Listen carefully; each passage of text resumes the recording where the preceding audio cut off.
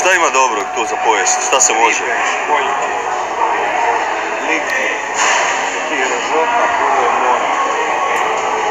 Kolači, krosani, sladkarije, pive dobre, mjesine, testenine, pice, rožota.